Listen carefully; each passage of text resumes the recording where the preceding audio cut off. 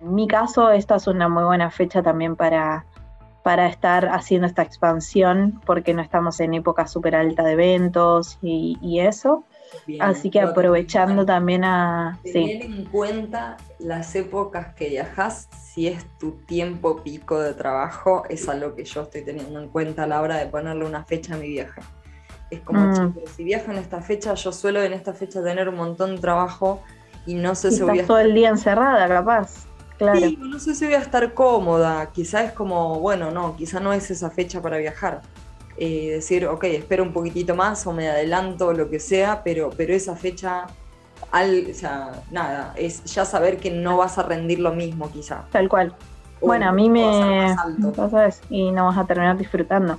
Así que eso es, es clave, totalmente el, ver nuestro calendario anual de trabajo, cómo es mejor, cómo está más tranquilo, cuándo es la época también de, de sembrar, de cranear, de, de, crecer en otros sentidos, de justamente eso, tirar las semillas, ir craneando y, haciendo que crezca todo para después aprovechar los meses también que tenemos temporada alta y demás para que sigas ese circuito ¿no? de crecimiento. Ahora, bueno, están todos allá de vacaciones y acá está todo el mundo trabajando, con lo cual está bueno porque es otro mood de ritmo que venís acá y, y veremos más adelante cuando vuelvo para acá.